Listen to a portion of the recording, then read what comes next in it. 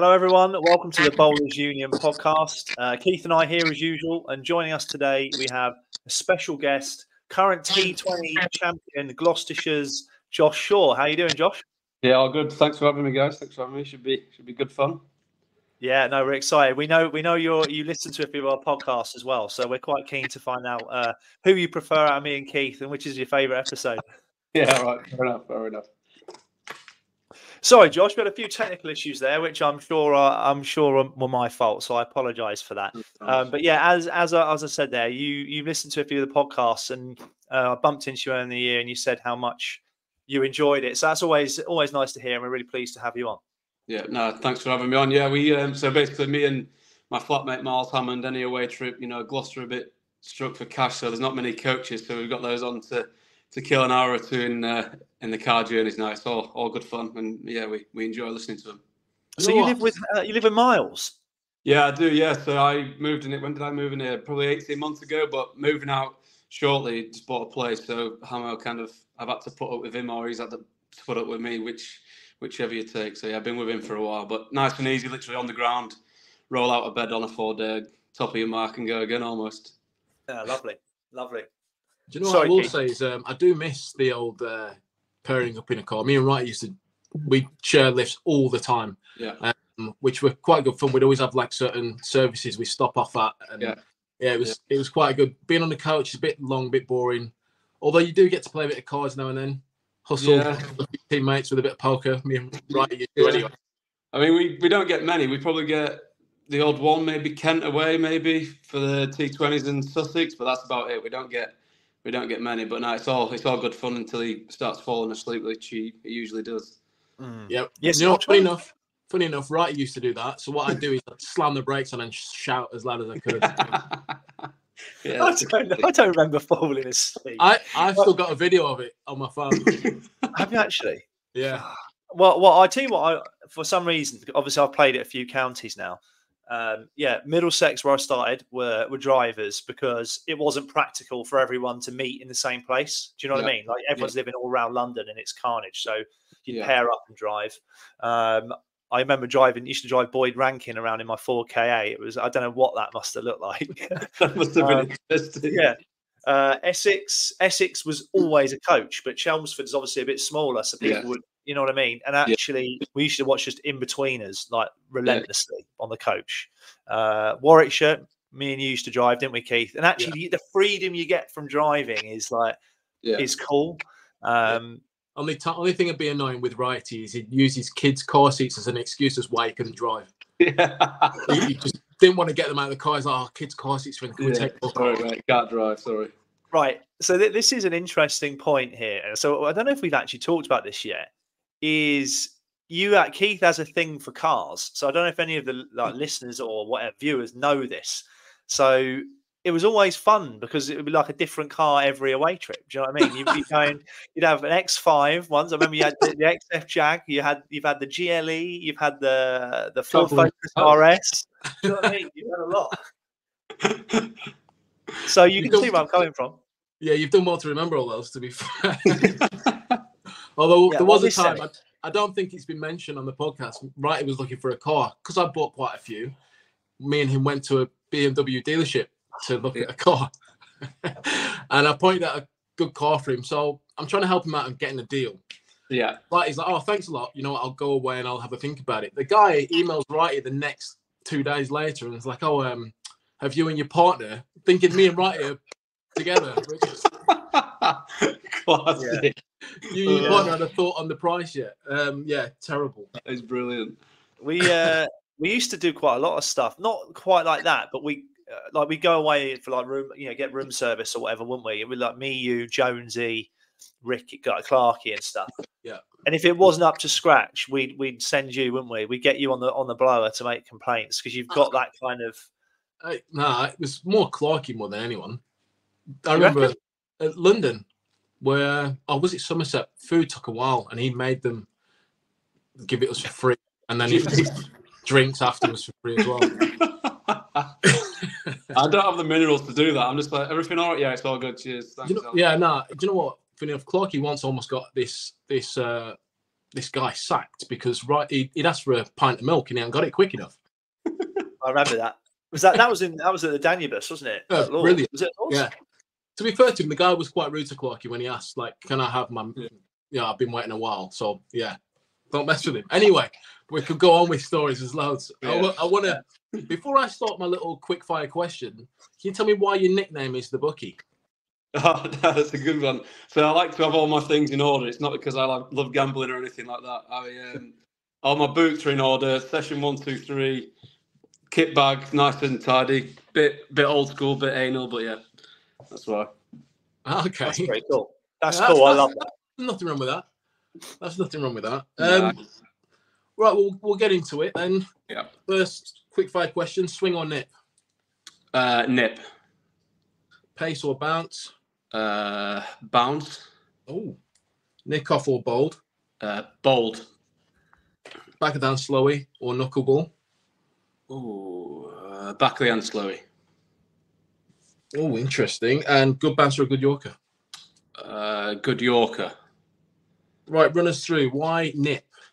Uh, I just, I think obviously swing swing is great if it's late swing, but if it's coming out the hand, it's quite easy to see. And obviously, nips only when it comes off the pitch, and that's probably six meters, five meters away from from the the bat or the pad. So I think that's obviously the hardest to hardest to defend. Um, but yeah, I mean, swing's obviously great, but I think just nip. You look at the bowlers around around the traps, mainly nip bowlers are getting all the all the poles. So funny enough, um, we had I forgot the guy's name. Is it uh, who aerodynamics swing? Mm. What's he called? Wrighty, um, Aaron. We had Aaron on, uh, and he was saying there's no difference of there's no such thing as late swing. It's yeah, it's all just what deceives the, what the batter deceives as being late swing. So I think it's more about your angle. Just so you're aware. That's all. Just so you're aware. Um, but I myself. Well, you listen to the podcast, John. I've obviously missed, missed that one, obviously. that was my, um, you know um, what? That was my favourite episode actually. Uh, mainly because Keith sort of ducked out early, but it was a, it was a, it was a good episode. Like his his theories, there was a few uh, a few bombs dropped, weren't there? But anyway, we we can get back to that. Sorry, Keith. Um, then you chose pace. Uh, you chose bounce over pace. Yeah, I just I just think the the amount of times you see, well, it happened to me a couple of times where you've, well, you've gone for somebody with a bit more height, a bit more bounce um, and obviously at Bristol, you probably do need that on the quite slow, low wickets. A bit more bounce probably probably would help, and I think it'd help everywhere in England. To be honest, I think as long as you're still hitting the stumps, of course, I think it would it would still it would help definitely. And then you uh, chose bold over being nicking off bowlers. Yeah, I just think it just yeah, it just makes a better sound, doesn't it? If you make the off stump castle out the ground or whatever, it just just feels a bit bit better than a nick off. You also then take the keeper and slips out of play just in case the, the shell Yeah, there's nothing worse than that. And you've got to yeah. try and keep a, a nice, like, oh, lucky. Like, oh, yeah. you sleep down, you spew it. Yeah, you're spewing. Um, back of hand slowy over a knuckle. Yeah, I just think my, like if you get the team, I know not many people ball seam up in T20s really these days, unless it's the back end for Yorkers. But if you get that seam coming down straight, like they can't they can't tell a difference whether it's pace on or, or not, I think you can you can do them like a kipper. And I think there's nothing better than you just get one straight up, straight up to the court and ball or edge of the ring sort of thing. Okay, and uh, good Yorker over a good bouncer. Yeah, I just think I that's my go-to. I think um, almost in white ball cricket. I think if you bowl a bumper at anyone, all it takes is a top edge. You can get lucky; it can go anywhere for six. Whereas at the end, if you if you nail a Yorker pretty much it's not going it's not going anywhere really unless they get a, a little nick on it. But yeah, I'd say a, a good Yorker over a good bumper. Interesting. I, I know Wrighty definitely, and I'm kind of the same as Chris. I prefer to see someone just get rattled off the lid than yeah. dig out a very good Yorker. I, I, do enjoy doing that, but also you're not going. That's not getting them out, is it? If you're donging them on the head, but I think yeah, but it, it, it kind of is in a sense. Yeah, yeah, I get what you mean. It feels yeah, it's a win. Yeah, it's it's definitely a win. But I just think me thinking white ball back end. I mean, it, all it can anything can happen with a with a bumper, whereas a good Yorker doing well to do anything with it. So funny enough, actually, we'll, we'll stay on this just quickly. A bouncer bought me a wicket the next time I played a game, which Wrighty knows about. a good, a quick bouncer it was, wasn't it, Chris? Yeah, um, yeah, yeah. To be fair, yeah, yeah, it surprised everyone. Um, who was it against? Uh, uh, sorry, who was batting again? Wiaan. Oh, Wiaan, yeah, Wiaan Mulder. Um, he came into bat, and we've been told by uh, Paul Nixon mm-hmm. and our head coach, look, do not bump him. He's very good in the short ball, and I hate hearing that. I, I at least want yeah. to surprise, just do it once, kind of yeah. at least prove I can do it. Yeah. Um, and I thought I'm not going to do it once he's got in. I'm going to give him first up, give him a quick bouncer, which is quicker than what I thought it would be. Then we played them in the final, and I got him out maybe second ball yeah. Um, LBW, and we chatted after at the bar, and he said he was expecting a bouncer. really? He said he was shocked at how quick it was than my bumper, so he was like, "I've got to be aware of his bouncer." Yeah. So you know, it can buy your wicket. I almost, I almost yeah. ripped his lid off as well. To be fair, so it was, you know, it, it can buy your wickets, bouncers. Don't be shy. Yeah. I mean, I'm, I'm not shy of bowling it, but especially when, especially in a in a white ball game, I'm just a bit too risky, so I almost forget about bowling it to be honest a little bit, in especially in, in white ball cricket. I think I almost went. I might have bowled maybe two or three the whole T20 20 campaign this year, um, just because I think it's just potentially too risky. Doesn't mean if there's any batters listening, doesn't mean I won't be using it next year potentially just in case. you're, you're right. It's uh, you're onto a bit of a hiding for nothing in yeah. in T20 with a with a bouncer. I think it's great in the middle of a 50 over game, isn't it? Yeah. It's such yeah. a good ball, but like T20, when quite often you've got one, if not both, of the third man fine leg up, it's like. Yeah, yeah I mean, I was, yeah, I was looking when I was at Yorkshire. Uh, Liam Plunkett was still there, and he was obviously great in the 50 overs during the middle. And he was like, "You just have to use your two every over." He's like, "Just use your two, because otherwise they're just going to stand there." and especially these days they just try and hit everything for four or six pretty much. He was like, just use your two, might get you a wicket, but might get you a dot as well. So it was mm. just that kind of going going on from when he said that. I was like, that actually makes quite a lot of sense, really. So something I, I picked up on. That's that's brilliant. Obviously, we just talked about bouncing. You mentioned T20 stuff, so I'd like to go straight into that. Yep. Talk us through your the competition for the for the Gloucester squad of going on to win it. How were you guys confident from the start, or was it you built momentum and started to believe more as you went on? Yeah, I mean, it's obviously the classic when you sit down at the start of the, cam- the campaign, everyone's like, "Oh, we can go on and win this," and we've not there's not been a ball bowled yet, and then we were, I think we were one from five, um, and we we weren't looking great. So I think at that point, pretty much every game is almost like a knockout game, isn't it? When you've not started off great and you've got to you got to find a bit of form, and luckily we did. I think we one of the we got a we got a tie at Surrey, which I think everybody was expecting us to go there and get folded over pretty much, and we we stood up to them and got a got a tie, and then we, we were winning games we shouldn't have really won, and then on the flip side of that, we were losing games we we should have won. So it was an interesting campaign, really, to be honest. But I think everyone was always confident. Um, I think the the biggest boost of confidence was that quarter final against Warwickshire, where we almost did like a classic old Gloucester, just squeeze them, squeeze them to death, and we did that and won pretty comfortably. We've only won, I think, what was it, one thirty nine on the board? I think it was. Hmm. Um, and then yeah, just going into yeah into into that finals day, we we turned up the day before. Um, lads did a bit of training and we, we saw the wicket and we're like, this is pretty dry, like almost like a Bristol deck for T20s.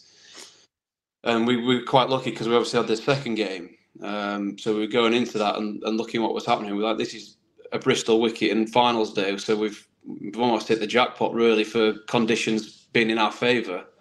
Um, you know, and then throughout all the way throughout the campaign, we've started well, whether it's been bat or ball, and we we did it pretty well on finals day. You know, I think what did we lose? Four wickets and bowl both teams out. I think it was or something like that. I mean, Jack yeah. Taylor and Ben Charlesworth, who can give it a good thump, didn't even have to think about batting. They were just specialist fielders in the in the finals day, which was which was pretty strange and surreal, really. If you'd have spoke to us at the start of start of the finals day or start of the campaign, that you're going to bowl both teams out and, and only lose four wickets. Do you know what yeah. I would say? There's no better match for a bowler than to not even have to consider putting your pads on. Yeah, just yeah. to bowl. Good. Good. Lads, knock it off. Yeah. I'm yeah. like, yeah, so happy. Yeah. Well, what I like here, in, like white ball cricket, especially, it's almost like, yeah, white ball is just a massive like it's almost rude that you have to bat, isn't it? Do you know what I mean? Yeah. Especially for like one over at the end of a T Twenty. Like, yeah. yeah. Well, there's just one outcome, isn't it? You're either hitting a boundary or you're just out. So it's, just, yeah. like or you, you start you, running twos. Yeah. you watch the um, the rerun of all the past finals. Then there's been so many like nippers in there. I think the one that stands out was the Harmer. Was it against Worcester, like 2019 maybe? And he was last ball hit a four four to win it, or whatever it was. And I was like, if that comes down to this, I'll, I'll be nipping a little bit. But look, didn't even get anywhere close to putting my thigh pad on or anything like that. So it was great. Um, fast forward it, well, rewinding then back to the beginning of that. You said you'd won what one in five. Yeah. Was there a change in approach, or did you just recognise, you know what, we're doing the right thing? T Twenty is kind of volatile. We're going to yeah. keep we're going to keep going in the way we are. Do you know what yeah. I mean? Or did you change something up? I think I think the start of the year, um, obviously Mark Alleyne came in from um, Benkenstein last year, and I think we we in years gone by we've been told just to try and basically get as many as we can, whereas um, Boo Boo's now down the line of actually you need to consolidate a bit more than you think, and it's not all gun ho like everybody thinks. I think we were probably adapting to that a little bit at the start of the campaign. I think potentially. I mean, we've not. There was no big sit down, have a chat about reinventing the wheel sort of thing. We we just said, look, just go out and back back what we're doing, and we we should come good. And luckily for us, we did. I mean, we I don't know. We, we just everything seemed to click at the right time when we needed it to. Um, even the last right at the last game, we needed to win um, and then it was, I think Hampshire, did Hampshire have to lose? Um, and Essex beat them the last game, so we went through. Um, got through on net run rate, and everything just seemed to, yeah, everything just seemed to click at the right time. But there was no big sit down meeting about, oh, look, we need to do this, we need to do that. I think it was it was basically just our just keep trusting trusting what we're doing almost. No, no, you said that that was with the or from what it made it sound like it was like from the batting point of view, from bowling, was there anything that was changed, or was it just keep doing what we're doing? No, just basically just keep doing what we're doing. We were taking wickets in the power play and we were getting off to decent starts. Um, there was a couple at the back end where they got away from us, um, but there, it was no like standout area where we were really underperforming. I think, I think we we had a big meeting in Cardiff last week about um, just wrapping up the season basically. And I think we were almost leading power play bowlers. I think that might need to get edited at the end if we're not. But I think we were, I think we were the leading power play bowlers, and I think as a group, I mean, you look, you look at our team and you think, well, there's not many superstars in there, but there's one thing we do is all we all push in the right direction for each other. There's no like individual performances in there. Everyone's pushing to do the right things. Same with even in the field and with with the bat. We've not really got many superstars, and people probably underestimate us a lot, which probably helps us out. I think. What uh, you mentioned about power plays, are you happy or able to share what, as a bowling group, is your philosophy in a power play? Do you, uh, do you uh, just hold length as best you can, or you do you vary it a lot from the start, or like what's your kind of vibe? Yeah, so for, for me individually, I've I've got my deep point and deep square leg, um, looking to swing it. So obviously, it's almost I think you've had somebody on before talking about this. It might have been Dorf, I think. He was saying, "Oh, you want to get hit to certain areas." Um, obviously, trying to run up and swing it. My man protecting that is the deep, deep point man. But then I know if if the batter goes the other way, gives himself a bit of room. I'm just going to try and hit him as hard as I can on the thigh pad, and my deep square should be able to look after that. Um, so I think we were just clear on where we wanted to get hit all throughout the start, middle, middle, and the end. Um, I think that that helps for me. I think I'm not. Yeah, you first over, you might be. Yeah, you might be trying to nick somebody off or trying to get them out. But after that, I'm my thought process process is how are they not going to score a run? Well, how can I stop them from getting getting a boundary? Pretty much, um, whether that's basically hitting the thigh pad, slow ball, or hole. I'm just trying to make sure they don't don't get any runs and almost just taking it away from me. And if I walk away with one for in the game, I'm happy, or even none for. But I've got a decent economy rate, and I've helped the lads out as much as I can. I think that's that's all. I think that's mainly all we're all trying to do, pretty much. I think everybody forgets personal personal achievements, and we're just all in it for the same thing. I think just to help each other out. I reckon. With that, did you find that you, you guys had set roles, or did you boys have like was there certain death bowlers all the time, or certain people who open the bowling, or you have to mix it up? Uh, so I didn't I didn't start the first couple of games, but when I came in, it was then pretty clear that I'd bowl the second and then around the fourth or fifth over. And Payne always takes the first one, and then Matt Taylor would follow me, and it would work out where everyone basically bowls pretty much the same overs in the power play. Um, and then uh, through the middle, it was quite flexible depending who was in. If they'd lost a lot of wickets, but at the end, it was yeah. I mean, Matt, I think Matt had ball around the 15th, somewhere around there, and then we'd basically just do shadow the power play nearly. Payne would finish off. I'd do the, the, the second last almost. There was one game where it all went a bit peaked on when I bowled two flat ones at Somerset, and we had to get the spinner on in the last over. uh, which yeah, I think I then I, I missed missed the last over um, a game later, understandably, because I think they were a bit like, "What if he does it again?" Uh, I, I, have a feeling that was tactical by you, mate, at Somerset. Uh, sure. Well, it cost me far too many runs if it was. yeah, they um, yeah, Greener found those flat ones quite nice to, to get under. Um, but no, yeah, I think everything um, pretty much went right the way through. Um, I reckon if you look at the trends, it'd all be pretty much the same where we all bowled. Yeah. Mm. Um, the, the guys you mentioned there, I, I did do a little bit of digging.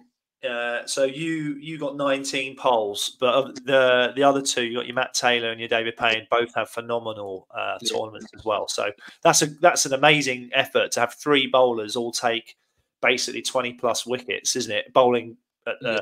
in the power plays. Um, and I, I'm assuming you you guys talked about the importance of power plays. I think that's pretty well known, isn't it? That if you win power plays, you win T20 matches. I'm assuming that's something that got brought up.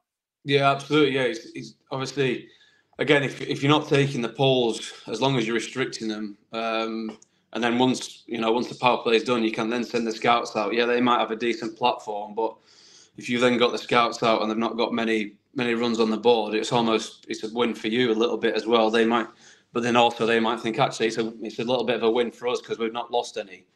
But you know, I think with with the bowling that we've got in the middle as well, I think it's it's always hard, especially at Bristol, for teams to come out and and try and attack like they would at uh, their home grounds. I think I think Surrey absolutely hate coming here. If they could call it off at the start of every season, I think they would be they'd be more than happy to, to do so, which is is pretty funny. But then, you know, I think I think obviously the power play is is vital, but I think also at the end we've we've done really well at the end to cut the the scoring down to a minimum. Really, um, I think having somebody like Payne in our attack is absolutely vital because he just seems to bamboozle everybody at the end every every game. It's it's quite funny to watch when he stood at short third man. It's you see him swinging and missing every ball. It's it's good fun.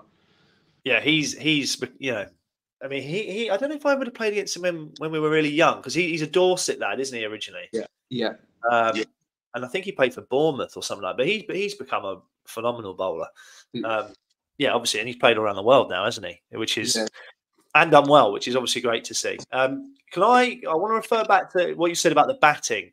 So yes. there's a, a statistician, analyst, or something. I don't know what the title would be called. Dan Weston, actually, right? I don't know if you've heard of him. Barks, you definitely have.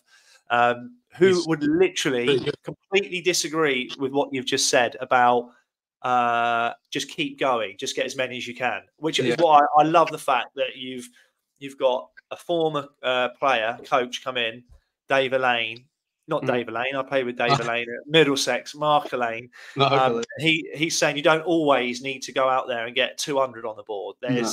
you can win with 140, and sometimes yeah. you have to old school, but you have to yeah delay your you know delay your death period to the last couple of overs to get a score on the board. Um, I think um, a lot of older players probably love hearing that. Do you know what I mean? Yeah. Rather than just swing. Yeah. Well, it's funny because we obviously had um, Benke last year, who was was obviously a great coach, but he was like T20s. He was like he, he came back from the the SA20, and it just seemed like he was like, right, you just need to go out and hit sixes every ball. It obviously sounds sounds pretty easy, but the reality is it's very hard. Um, yeah. I, I think we we might have got a little bit carried away um, in years gone by by doing that, and then we've almost gone back to where we were um, under Dorse, and obviously now Mark Alleyne's come back in. He's kind of got us back into that mold of yeah, we, you can defend a low total. You just have to do it. You have to do it pretty well. Um, I think that's what the lads have been used to. The the other standout is that uh, 2015 final against Surrey in the 50 overcom. I mean, I think they defended something stupid in that game as well. Pretty pretty low scoring. So it's obviously in the identity of, of the team and the club. So I think, you know, if you, if you're good at it, why why go out there and try and smack every ball for four or six? Yeah, I do remember there was a stat. This was going back some years now, but T20. What was it? Right, the first whoever lost the least amount of wickets in after the first six, the the chances of them winning was like seventy percent, seventy five percent, something like yeah. that. Um, I know the game's trying to move on, but I do think wickets in hand from a a batting side is really important. Yeah. There's nothing worse. An issue's happened to myself I'm Wrighty when we were playing in T20 games. There'd be such a demand on taking wickets, which obviously you want to, but at the same time, I was almost at the kind of if I can ret- like kind of restrain them to just a low yeah. score.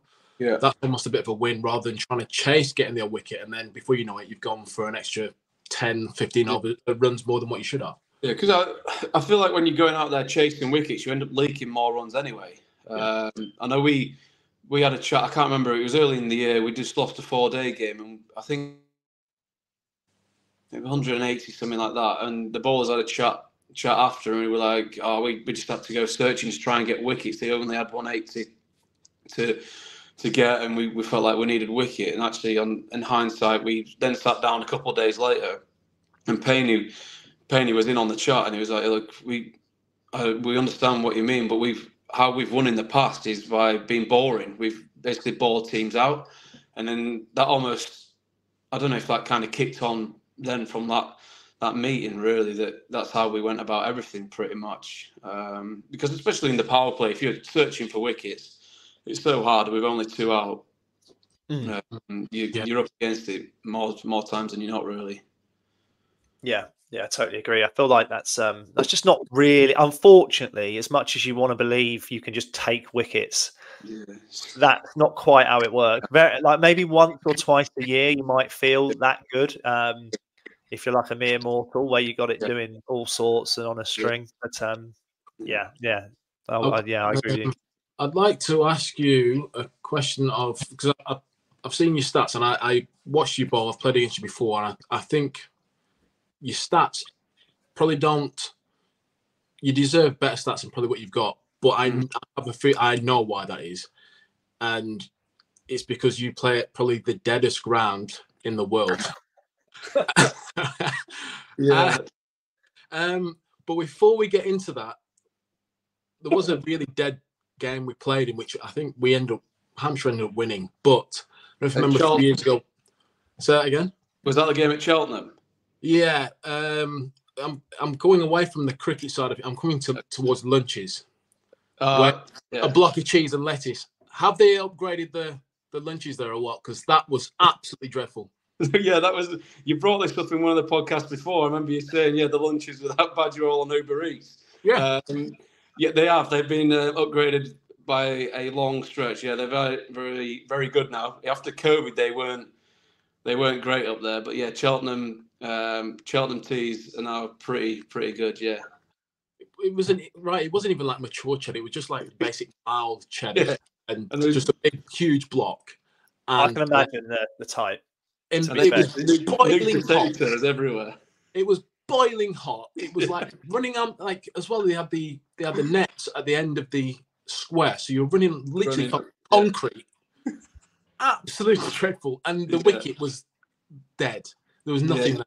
Well, we were we were dead set for a draw, and I think one of the Price brothers either smashed it into short leg and it popped up caught. Yeah. From then we just folded. But no, yeah, I remember. I do remember that game. That was a.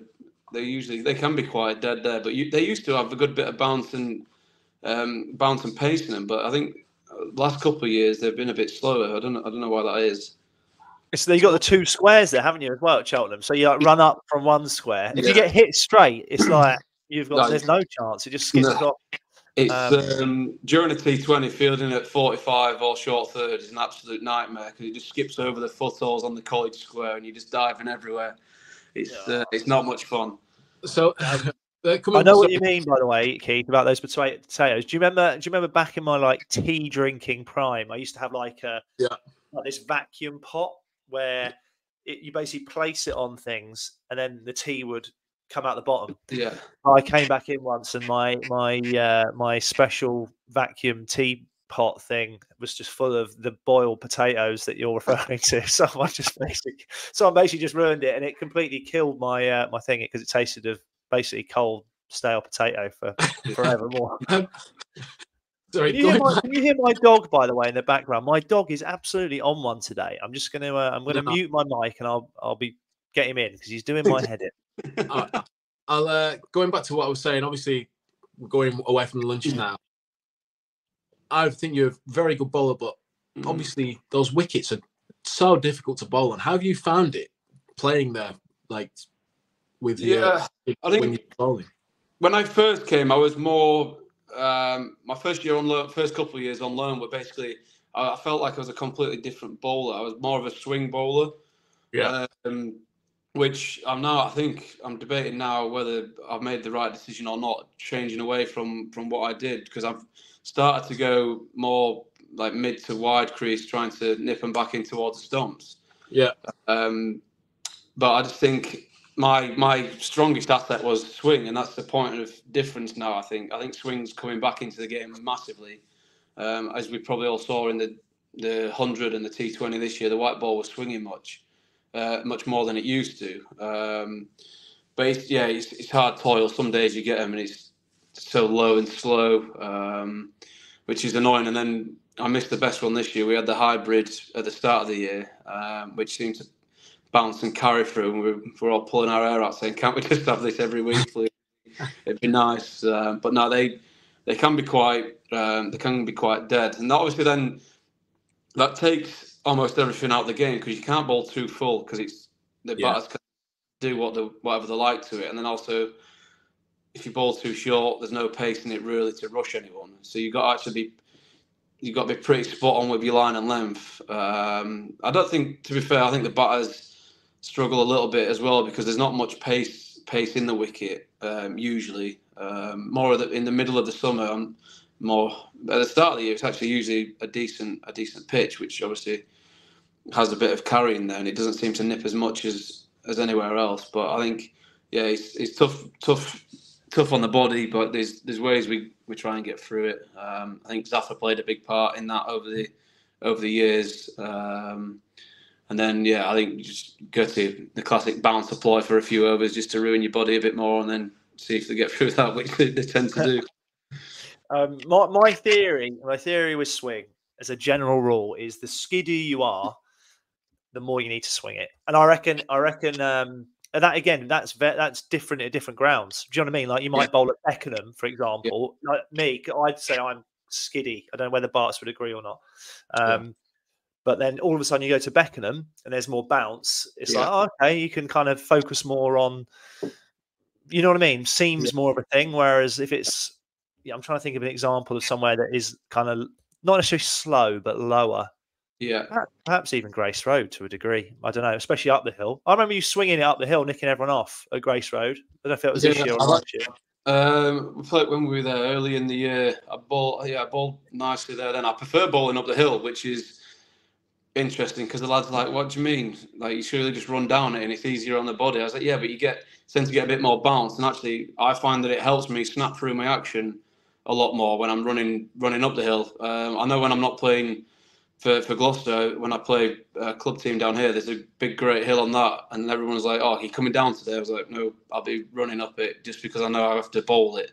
I have to snap through yeah. my action and kind of get through it." And I think that probably stems from being um, at Yorkshire when I was younger. Um, obviously, training there, it always seemed to be bowling up. Everybody was bowling up the hill. Class like Yorkshire, where yeah, you, you must run up the hill and, and charge in forever. Uh, but no, I think that's that's basically what it what it was, and I've always I've always preferred bowling bowling up up a hill rather than down it. Yeah, Do you know what I will say? I think great. no, no, no, like well, right. He gives it now that he likes to bowl up the hill. Trust me, when when it was who's coming down the slope, he was yeah, yeah, um, yeah. Obviously, being a, a Yorkie, I feel like if you're a Yorkie, you play cricket, you've kind of got your base covered because if it's just Yorkies, they're just no nonsense. Get yeah. on with it. Do it. Just bowl, just bowl and bowl and bowl, and I, that's it's almost one argument uh, which you you guys have had before that it times are changing from that, and and people are like, oh, well, I bowled my form, I'll be all right now. I've got to stop because my GPS says so. Well, I I we all we obviously all have to wear them. I'm I'm one of those who will try and bowl as, as much as possible. I think that's the only way you understand your body, understand your action, improve your action if, if it needs improving. Um, but yeah, I'm pretty pretty down the old school mentality of bowling as much as you can and wearing the big big Asics gel speed menace boots from 19, 1912 just to keep your ankles intact. Yeah, yeah. the, yeah. the gold dust though, gold dust to go. I've got two in my wardrobe ready for next year, but that's all I've got left. What's your address again? If you, if, if you find that they've gone, mate. Yeah, they. It could no, I actually I found these ones I found over. I think it was in Dublin when we we went on pre-season tour. Me and Matt Taylor were searching the internet to try and find me some new bowling boots. He said, "Oh, I've got you some here in, in Dublin," but then I had to have it, pay the import tax. So it was like three hundred quid a pop for one pair. Oh, wow. like, it's a nightmare. I used to get Mohammed Abbas to because he he had a contact through playing for Pakistan. He had a contact yeah. to get them in India. Oh. And I reckon he still gets them. He keeps telling me that he tell me there's none left, but yeah. every year he just rocks up with some rocks new one. New pair, yeah. yeah. um, no, that's great. Uh, right. So I wanted to ask you. Um, here you're a bit of a canny golfer as well. Yeah, I do like do like my golf. Yeah, um, that'll be me this afternoon. I think nice weather. Yeah, me and luckily Hamo Hamo took it up a couple couple of years ago, and he's been non-stop. So me and me and him, and then uh, another lad called George Scott who used to play for Gloucester. We have a little group chat and we just ping a message on there and get out there whenever we can. Yeah. How long have you uh, played for?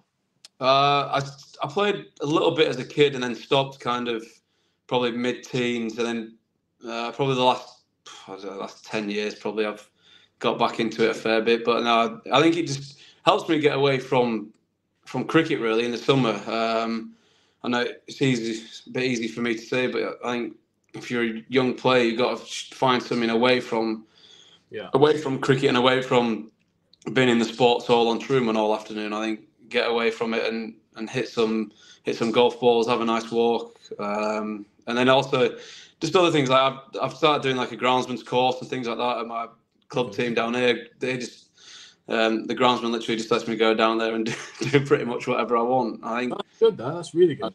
I think just stuff like that, just getting away. I, it was more just the social side of it for golf, really. Um, uh, some of the lads play it. Um, and then just the trips at the end of the season, it's, it's good crack. It's just nice yeah. to unwind. I mean, it's a decent walk for four hours. You can enjoy a nice feed and maybe a Guinness after. I've, yeah, I mean, I've got also, um, I've got a, it could be seen as a bad, but actually it's a funny story. Um, I was, I got told, look, this is years ago, Warwickshire, look, boss, we're not going to play in the T20 stuff. We've got um, Recordo Gordon, we've got Ollie Hannon-Dalby, and you yourself yeah. and Wright can can rotate and rest. And I was spewing. I wanted to go. I'm like, take. I want to go on land. And like, you're not going yeah. on. I'm like, yeah. right, fine. and I thought, you know what? I'm going to learn to play golf. Yeah. So I took it on myself. Got some golf clubs. Got all the gear. As a, like, I get into something. I'm like, right, I've got to get certain spikes. I've got to get certain clubs. All that. Yeah. And I started to go to the driving range up near where um, near where Wrighty used to live, actually. Um, and I, I got a call off my head coach when I know there's a T20 game meant to be played. I just thought there's no way I'm answering this because that means someone's missing somewhere, and I, they want me to go and drive to Nottingham to yeah, do 12 man. You need not, to get not doing it. I carry on driving up to the golf to the um, driving range, and then rings me, rings me. I'm nah, not. Do- I'm just not. I know I'm not doing it because if, if, I do play, I'm going to be out the next game no matter what happens. I'm not. Yeah. Playing. I've been told I'm not playing. I'm not playing. I'm, I'm not playing. And then I get a call from the physio. I'm thinking, okay, this is a bit odd. So I answer it. It's like, oh, um, ends up it's the head coach on the physio. So I'm like, oh. Uh, so I'm like, oh uh, yeah, all right. He's like, um, um, where are you? I think, oh no. So um, I'm in Oxford. I'm in Oxford. Oh, how long do you reckon it take you to get to Nottingham? Um, they were like such and such. I can't say what's happened, but such and such okay. things happen. This person's gone, um, and one of the other players hasn't arrived yet. I was like, it's going to take me like three and a half hours, I think, something like that. like, right, um, all right, it's going to be take too long. Um, right, I'll give Wrighty a call. Like, yeah, no worries, bye. So I go home. I'm like, do you know what? I best not be seen out. Let yeah, me go home. Turn around, drive home, stay inside, curtains closed, everything. I then put the cricket on later on. Who, who's opening the bowling just for the Chris Wright. yeah, you know, you know what? So Clarkey didn't play, did he? For some reason. Yeah. Uh, but you know what was awesome? There was no no warm up. It was like proper. Just, just trying to figure out how to kind of get ready for a professional game with yeah. about 20 minutes prep. It was brilliant. Like honestly, and actually bowled right. Did well. You know, he did well. He took. To be fair to him, I could I could not imagine. The other person who didn't get there was Recordo Gordon. Bear in mind, he was meant to play. He didn't get mm. there. Whenever Wrighty left, was there was like an hour before the start of the game. Yeah. Wrighty gets there in 40 minutes. Um, Recordo Gordon, I don't even think turned up, or he turned up after Wrighty. So God knows what happened there. But um, Wrighty took like two or three wickets. Guess what happens the next game? Who's not playing? Wrighty. oh, but yeah, no, that was that was why because I'm same. I had the same dialogue as you. I was like, I want to play every game, whether that's right or wrong. Yeah. So I remember being like, I'll show them. Yeah, I'll go there, and I bowled yeah. really well. It was a short yeah. side to Trent Bridge. Nailed my wide hole at Dan Christian. A few wide slowies. Um, yeah, yeah. Didn't also, also, I will say at that point, I'm not in a rush to go and open the ball against Alex Hales and Riki Wessels. No thanks. Yeah, yeah that's hiding into nothing now, that isn't it? Yeah. well, that's just you know. But right, right, it came through. yeah, I don't. I can't remember what was going on though with the game, to be honest. But yeah, yeah, it was a weird. It was a weird. Uh, a weird vibe. But um, sorry, I disappeared. By the way, there. What my dog's gone ballistic. I had a tree surgeon turn up, who I don't know if he's still in my garden. So I apologise if you can hear my dog right, he's got a lot of land where he lives. He just he has people. you know, no, I, I, really don't. That's that's not what's going on. I think I have a small cherry blossom tree or something that a quote was meant to be done for. So nothing, nothing more than that. But the dog's been a pain, even though he's uh, he's cute. But did what did I miss out on? I heard you talking about golf. Well, we were just um, talking about golf, yeah. Um, and you just said about uh, doing stuff to get away from the game. That's also another thing I was going to say is Ashley Giles talked to us about this early on when just turned pro. A lot of the younger lads would kind of hang around the indoor after training mm. and just mill around and not do much, and then maybe try and have another hit. And yeah. he just said to us, "Look, he used Chris Woakes as the example. Bear in mind, Chris Woakes is God." Yeah. He said, um, "Look, look at someone like Woakes. He, he comes in, does his job, gets out. Don't linger around. Go off and enjoy life away from cricket. You'll be playing cricket. You'll play cricket long enough do your job, get out. And I think it's so important. You're right. Is to actually find other things to do apart from just cricket. Yeah, I think I, I get there's a, there's a time and a place for putting the, the extra yards in if you need to if someone's not feeling quite right. But the the minute you're, you're hitting balls for the sake of it, you're almost defeating the, the object there. Yeah. Just, you just learn bad habits. Yeah, yeah, absolutely. So I'm, I'm a bit like that. Just getting if we're netting, we're netting. I'm I'm taking it serious. I'm I'm pacing my run up mm. out. And, and flying in. But if not, I'll be. I'm not not training. I'm not. I'm not doing something just to to learn some bad habits like you said. Yeah. Well, we, we've we've probably talked about this from a different angle, but we we do. All, I think seems all of us agree. You should you need to bowl uh, yeah. to learn about yourself and stuff. However, as you master a skill, and probably any skill, you want to become efficient, don't you?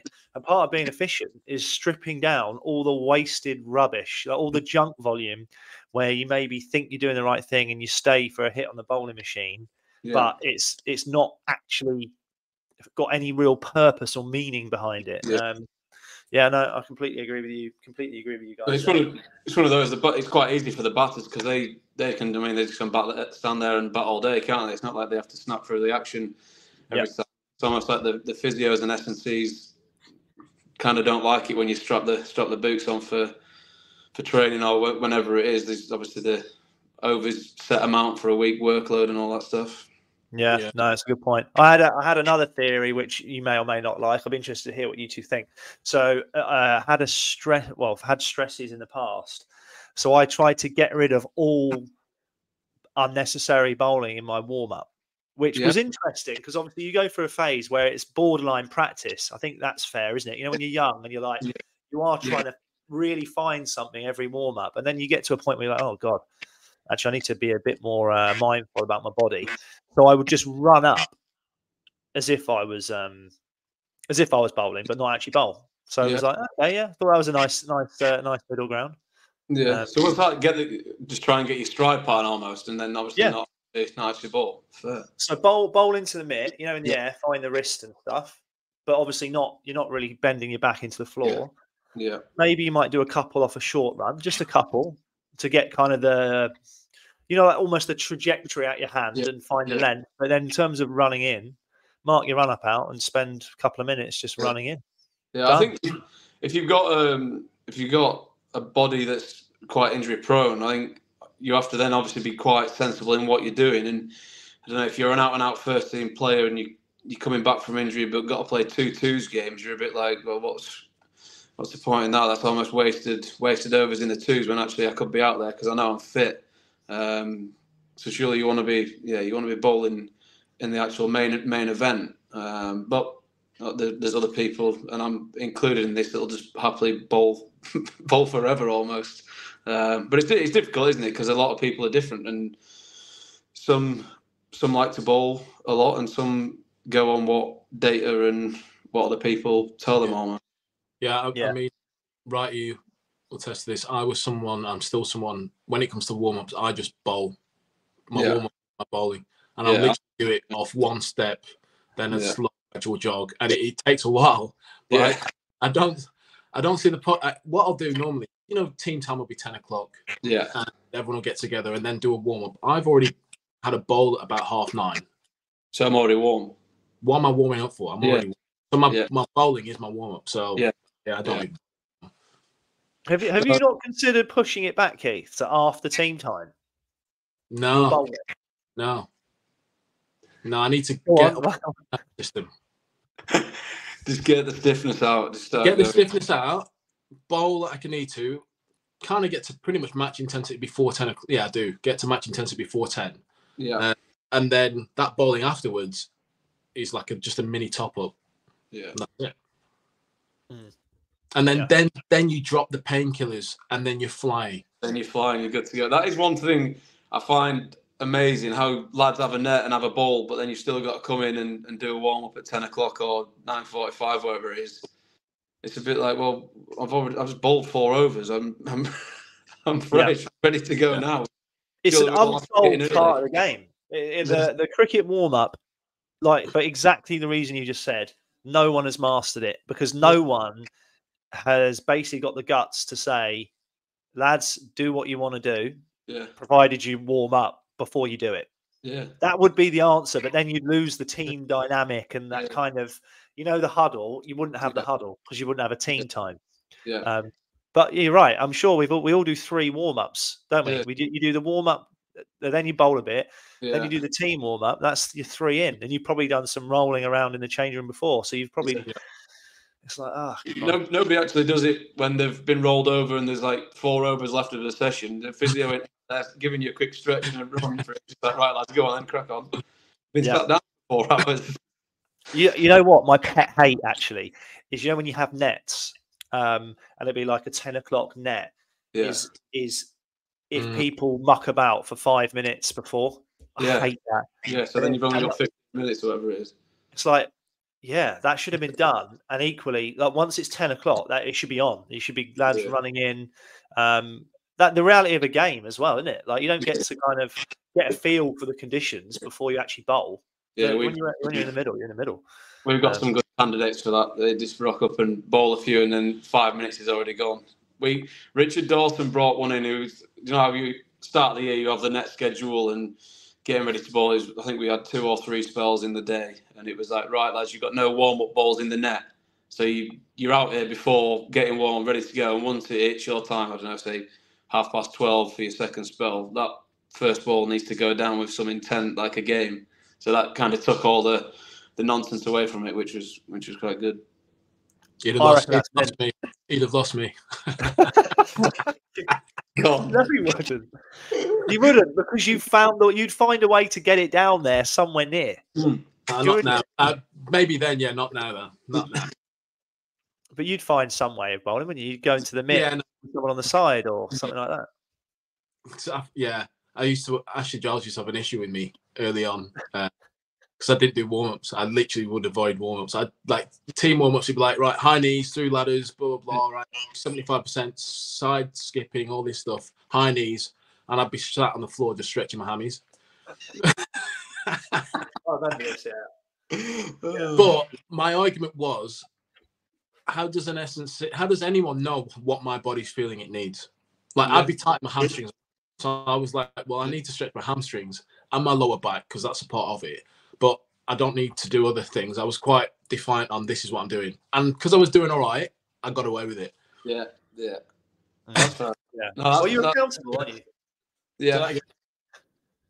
I quite like the uh, a kind of American vibe towards S and C uh, and warm ups and stuff. It's very kind of personal, very chilled. I remember watching the Super Bowl. I think it was a few years ago, and Mahomes was warming up. And he just had a big set of beats on, and was just yeah. like throwing a few balls here and there. You're like, yeah, like why are we? feel like we're a bit militant. Yeah. And ultimately, if you don't play well and you're not warmed up and prepared, then you you shouldn't play. Mm, yeah. I did that again. Right, dog. You'd have, you'd have you'd have enjoyed it. I bowled with my headphones. did you? What some i some iPhone ones? Yeah, yeah. In warm ups, just did it. I think it was just it just felt right. It was sunny all four days. It was a flat deck, and I, I need something to get me going. So I just had the headphones on, running to bowl because my my I had I forgot what watch it was, but certain watch it stored my music on, so I was able to run up bowl, listen to some tunes. yeah. Well, what did Pop say? He loved it. You know what Pop's like. Pop loves something that's a little bit different. A bit different. Yeah, he actually does. Yeah. yeah, yeah. That, that I mean, that would I I would quite quite rate that. Yeah. Um, so there's another thing I said to write. I do. I don't know if you I don't know if I, it was on the podcast. I. I just I walk a lot of the time if it's decent weather. I walk onto the pitch for warm ups or like when I'm going to bowl barefoot with my boots and my socks in my hand, and just walk up to the square, have a look round, and then put my boots on. I I like to just feel like I own it, basically. Nice. Gets me a good um, Cam Bancroft told a story how Justin Langer used to get their their boys walking around the outfield the day before barefoot to connect with the ground or something. It was it was a big rogue. I was like, I'm not, I'm not doing it for that reason. Yeah, I was like, I'm not, I'm not sure I'll be doing it for that. Yeah. No, he's just trying to look cool. Let's not get confused. No, he's not grounding himself. And he wishes he had the bottle to do that. Yeah, no, no, no. I yeah, I don't, I don't massively disagree. I would enjoy it. I wouldn't ever do it, but if if I was playing with like a performer who had a bit of swagger, I'd I'd be like, yeah, that's pretty cool. Uh, by the way, if Ben Mike's listening, this is not your cue to put earphones in. right, say that now. uh, not yet, not yet. Give it a few years' time, maybe. Give it a bit. Give it a bit. That's yeah. to be fair. That's why Wrighty used to do try and do some celebrations when we used to play together. He try and like try and outdo me. He tried to do the Ronaldo celebration and just look like Stevie Wonder playing the piano. It was uh, brilliant. Yeah, but yeah, that scarred me for life. That I don't really, don't really have any uh, choreographed sellies anymore. The one time I did, well, not even did. I tried, did I replicated this this thing, and everyone said it was a dab, and it wasn't a dab. It was a throwback to your Superman from 2012. Yeah. And then we lost still the game. Still trying to connect. That's 12 years ago. He's still trying to connect. Yeah, lost the game, and then D'Oliveira went. Yeah, like, yeah, I remember that. Yeah, yeah. You know, like Oh, I didn't know we weren't allowed to have fun when we bowled. You know what I mean? um, it's all part of the fun, being a pantomime villain, I suppose, when you're bowling it. But, um, have you talked about Dan Worrall yet, Barks? No, left it to you. We talk about Dan Worrall. Yeah, we can. He's an absolute legend of a bloke. That I wonder how good he. I wonder how good he is and what he's like to play with because we we literally love him. Mm. Yeah, I mean we I was quite lucky to have him for a couple of years. My first two years uh, when I officially signed down here. I think I'll always remember his, his first game, and I, I really hope he listens to this.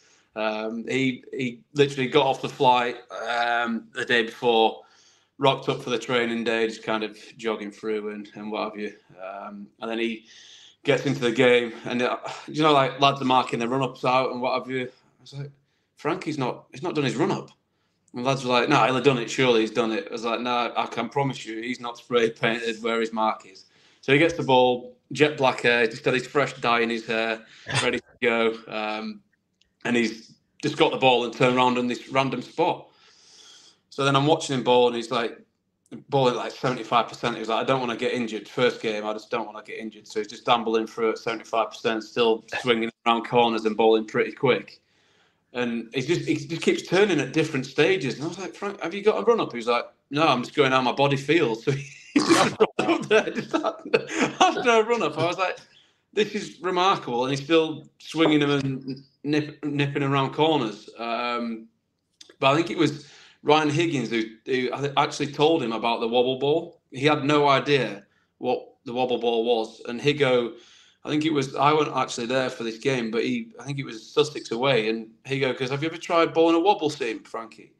And he was like, no, not really, because he obviously has great shape, swings it on this beautiful angle, and he's wide of the crease, and it's just a thing of beauty. And he's yeah, he goes just go no, if you just do this with a seam, whatever, and just nip it back, you'll get loads of pulls. Albeit went out there, I think he got four or five just bowling bowling wobble seam because everyone expecting it to swing. Yeah he's just remarkable. Of I mean, we we had one. Uh, we had a cut more than one glimpse of him, but he bowled one amazing spell. We were against Somerset at Bristol um, the year before he left, and that was seriously quick pace with swing.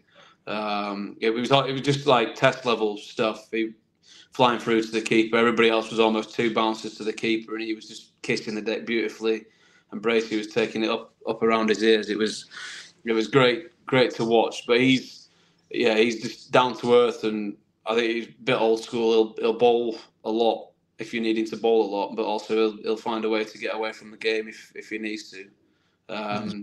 And I, I, was I was quite lucky to have him really for for my bowling at the time, which was swing bowling then, and to be able to speak to him um, was was pretty amazing. I think he made the right call moving to Surrey as well. Just I think some somehow instead of joining instead of joining us. Well, I mean, sorry, that's a it's a great coup for sorry. I know Alex Stewart. There's an article on Cricinfo now, I think, uh, and Alex Stewart's talking about a bit about Graham Thorpe, mm. but uh, he's also talking about no, it's on the in the Telegraph. He's talking about uh, Worrall being the best bowler in the country, yeah. which yeah, we've been saying this. We've been saying this for a while, Keith, haven't we? Yeah, by far, by far. He's a, he's a wizard with that. Well, even with the white ball at the top, he's just remarkable. You see how they're playing him in the hundred, it was almost like, all right, let's just get him through his ten, and then he has to stop bowling, and we'll go, we'll go after the rest almost. Mm. Yeah. Uh, do you do you remember a few years ago at Bristol? Um, there was a game that Gloucester beat Leicestershire where he kind of. I remember I, I was I nearly had to bat. I think in the second innings, and we were trying to sort of declare. He just mm. started bowling rapid at the back yeah. end of the day. I remember being like, "What the hell is going on?" It was like properly, properly quick. Just out of yeah. nowhere. Like, and he'd just shape up the new ball, like not yeah. be within himself, and then he'd just go, "No, I'm going to go two gears up here and yeah. bowl bombs." He, um, I mean, it's amazing how he can do it. Just literally almost flick a switch. He'd still be bowling amazingly well in seventy five percent, but then when he wanted to to flick a switch and, and crank it up, I mean, he, he could crank it up pretty quick. Um, but yeah, we, we were very lucky to have him. Me personally at the time, and some of the other younger bowlers at the time to have somebody around like that, and and now especially, I mean, Payne's always been great to to all of us, but to have Payne been able to ask him any sort of question you need is is great. I mean, obviously you boys will have had it as well when you you were younger coming through. You had people you looked up to, and maybe not in your team, but elsewhere. But I think being when I was certainly younger, being a bit scared to ask like Brezzy and, and people like that questions and Sidebottom, I think looking back when you eventually do actually ask the question, I mean, everyone's got time for you, haven't they? Which which mm. is a mm. great great asset that Frankie definitely had, and he yeah he taught me a few things which which I'll definitely hopefully one day master hopefully. I, I yeah. coming on to yourself because we talked about Worrall and stuff. Can you answer what type of bowler do you think you are? Uh, I'm a I, I'm a swing bowler, but I've moved I moved away from that a couple of years ago, which I think I'm looking back on now that probably wasn't the right call for me personally. I think, um, but yeah, I'm, I'm, I'm a swing bowler who then can nip nip it back. Yeah. Do you, what else do you offer? Do you feel? I'm I'm I'm, I'm probing questions because I, I, I want to just see what your thoughts are overall as a bowler. What you have to offer, what you bring uh, to a bowler.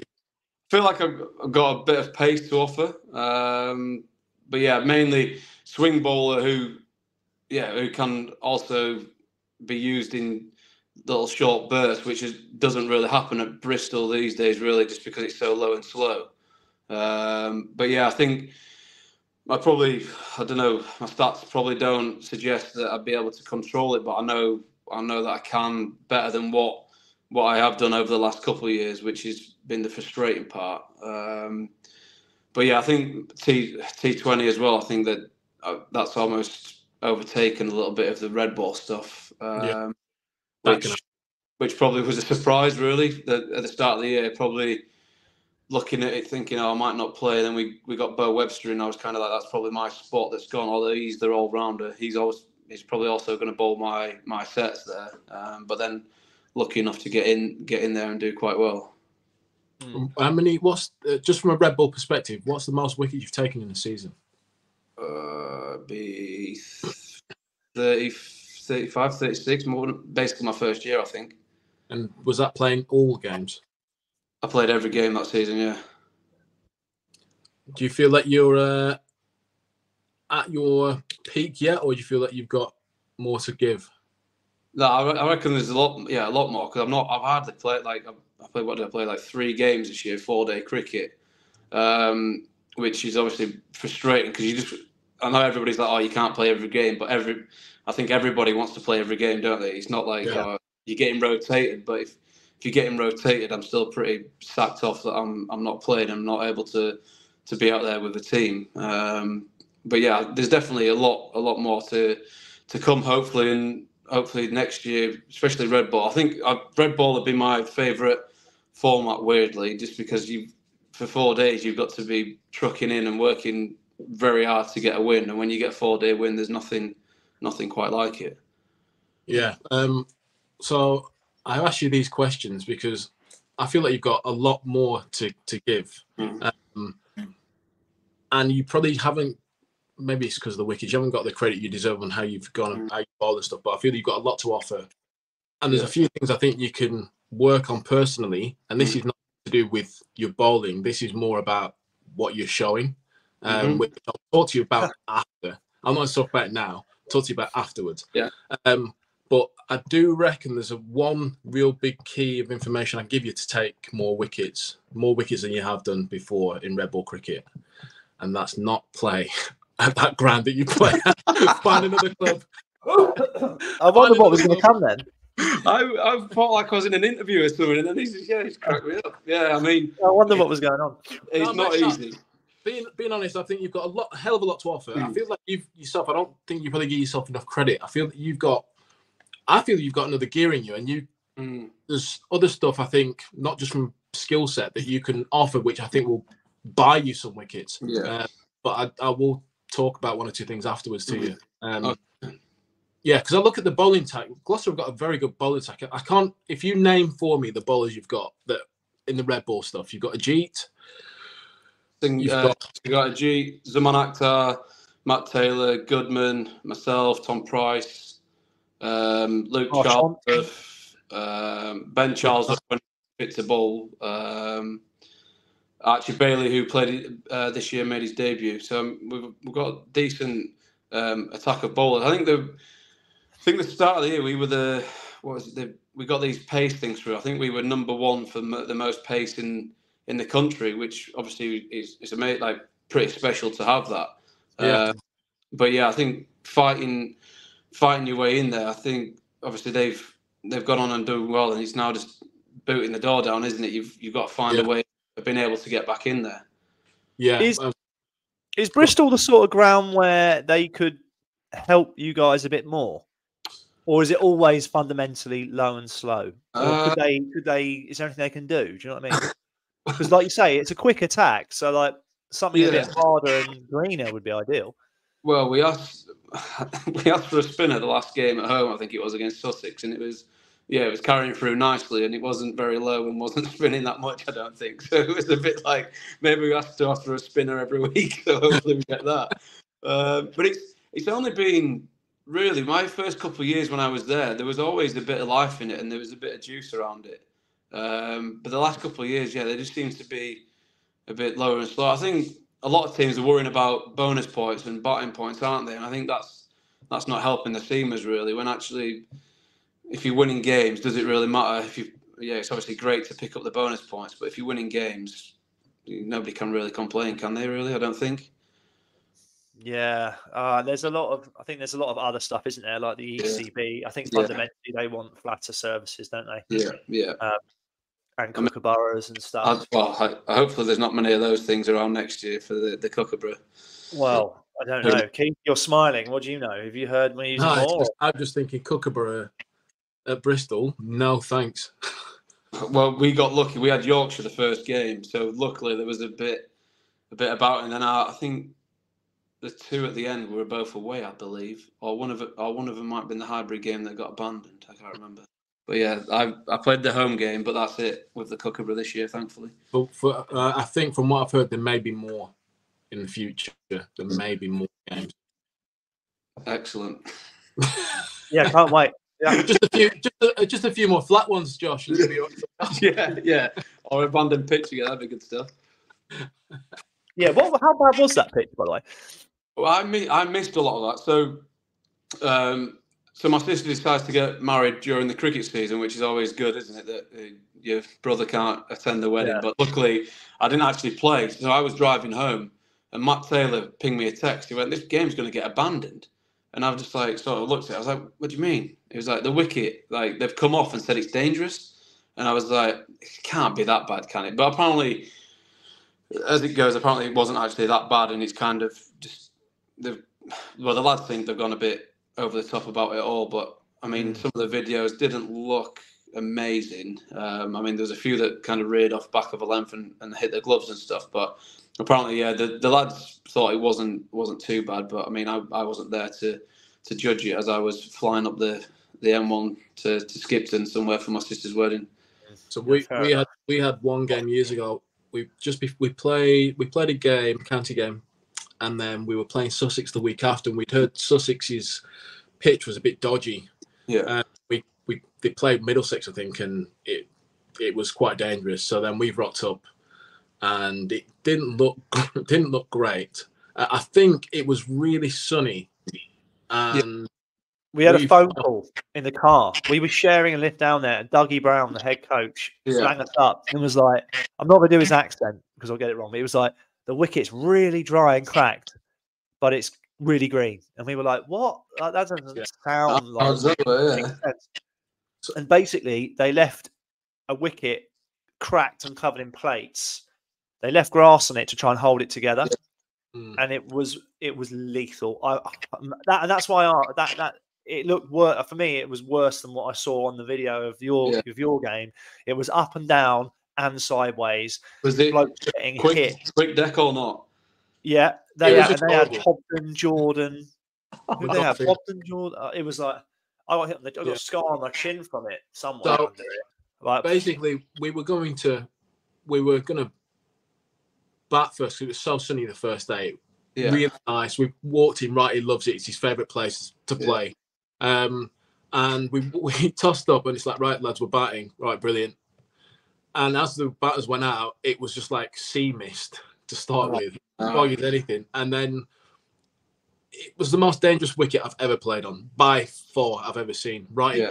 right he got one off a length off Magoffin didn't you the, yeah So. I, I got one. I no, I got a bouncer. So I went in at three, uh, because one of the batters was like, "Let's not reverse the order, but let's Let's try look. something." So I went in at three. Magoffin bowled a bumper, yeah. and I ducked, and it just basically rolled along the floor and hit me in the chin. In the chin. And then he bowled me a bumper next ball, which I went. "Phew." And I remember, uh, no, I wouldn't often, I wouldn't often ever feel like this. I remember feeling actually genuinely scared after the Yeah. second one because Yeah. I was a bit shook up, and it was this was before the days of like head, you know, Yeah, checking yeah, yeah. concussions and stuff. Yeah. So I, I had like I literally had blood all blood all over my shirt. Kept thought I'm gonna be a tough guy and keep batting, and Yeah. then pretty much shat myself the next ball because the bumper Yeah. actually went through quite quick, through. and I was like, I don't want to be here. Yeah, I felt I like think really, had really worried. West Ian Westwood broke his hand, didn't he as well? Yeah.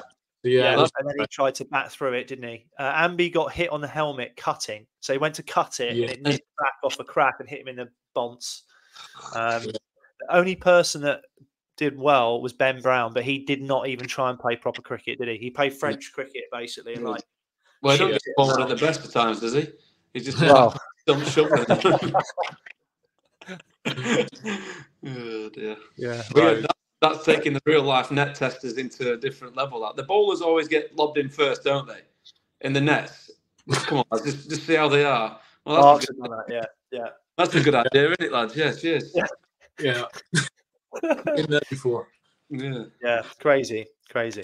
Um, right, how, how are we doing, lads? Because we're we've we've been on for over an Oh, hour here, so I think yeah, we, we could- probably should think about wrapping it up.